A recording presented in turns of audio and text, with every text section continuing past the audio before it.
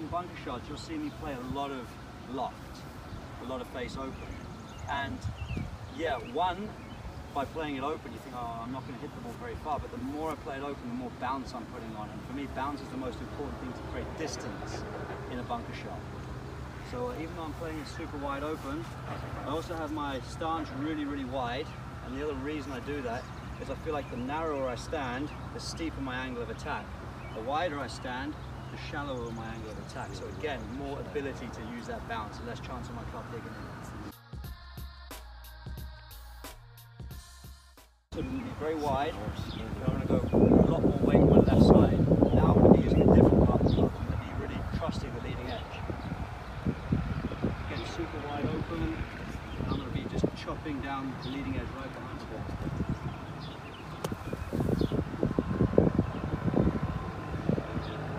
That, that's the way I would play it to, to come out super, super short. And sometimes that's, that's the way you have to play it when there's not a lot of sand in the bunkers. When you're trying to play a super delicate shot and you sort of like, you know, you're really trying to get under the ball, if you've got too much, not enough sand, the club's going to bounce and you're not going to be able to get it coming out soft. Um, I'm going to play it how I feel is almost a very shallow, sweepy draw feel. I want to feel very connected with my elbows and my body. A bit like the bunker, I'm going to have the ball up, I'm going to have my hands low, but I'm not going to be open. And I'm basically just going to stay very connected. I'm just going to sweep underneath it.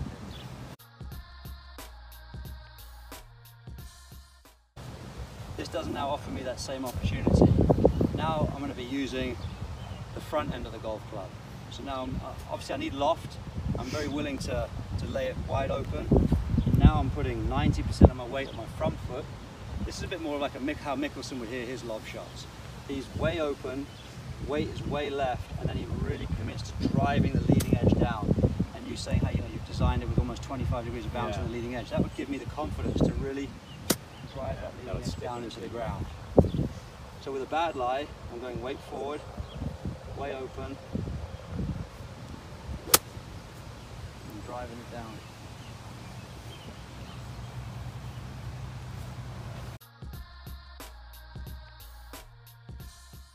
One thing I've learned not to be scared of, even on a tight lie, is so yeah, position one, two, and three. So this is sort of where.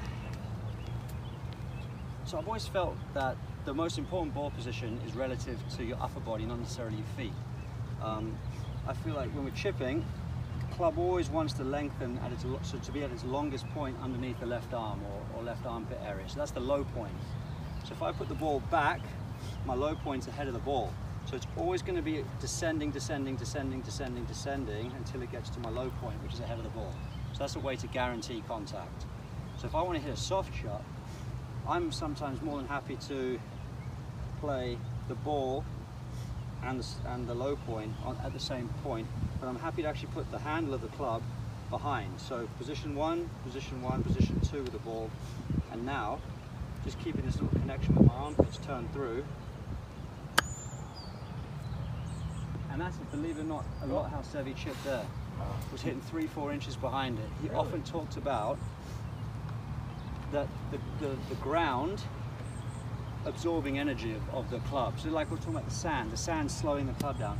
Seve always liked the ball to come out soft and he never relied on spin. He always wanted it rolling in as much as he could like a putt. So he would always go for high, land, roll out rather than the low, grabby spinner.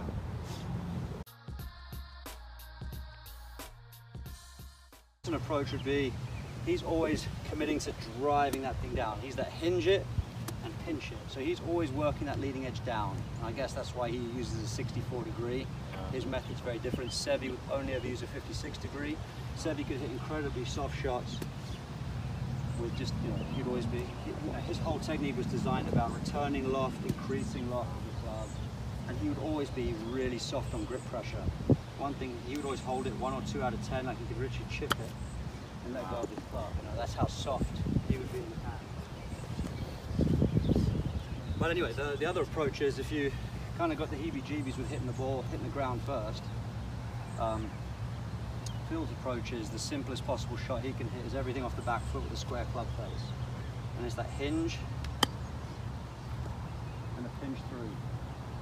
And then obviously if he needs to do something different, he will play it front foot, open club face, still very much the same. Hinge it, hinge it through. But that's all well and good, but the contact, there's, there's no margin for error there. You need to be spot on every single time. I think for me, if you basically just some principles are if you want to hit shots that are going to get back to a back pin, I always tend to go long arc. You know, so with the club in my left arm being long, and that, that arc is quite long, that's going to have more energy, more mass on, on, on the strike. So that, that's always coming out quite quick. You know, I'm going to always get the ball back to a to a back pin. If I'm playing something a little shorter to a front pin, I'm almost feeling like I'm now getting down to it. I'm, I'm cracking the left elbows. I'm making the, the, the, radius, the length here shorter, so there's less energy, less mass. And, uh, and now I'm going to be of you know, shortening it even more to get that coming out soft. So just some of the principles really that, that are involved.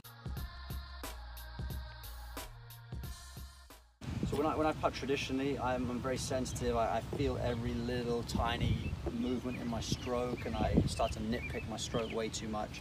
When I, when I put this grip in play, I, I felt like it sort of uh, calmed down all the sensations that I was feeling a little bit and just made everything a lot more simple up here. Oh, so I don't, I don't, fight the stroke as much. I think that's the most important thing. But um, so yeah, obviously I, I, get in there this way. But the reason I tucked the shirt in last week is that I felt like I was beginning to steer it a little bit. I, I felt like I was beginning to push my hands yeah. out a little mm. bit too much. So just by popping this here, just yeah, I wasn't jamming it in, but it just kind of gave me an incentive for my chest and my upper left arm to work in, in rhythm together.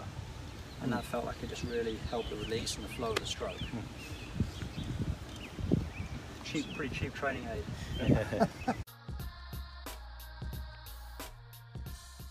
um, and then as I walk into the putt, I'm building that picture back to the ball. So I'm, I'm, I'm, seeing what my, I'm kind of aware of where the ball is and I'm building that line back.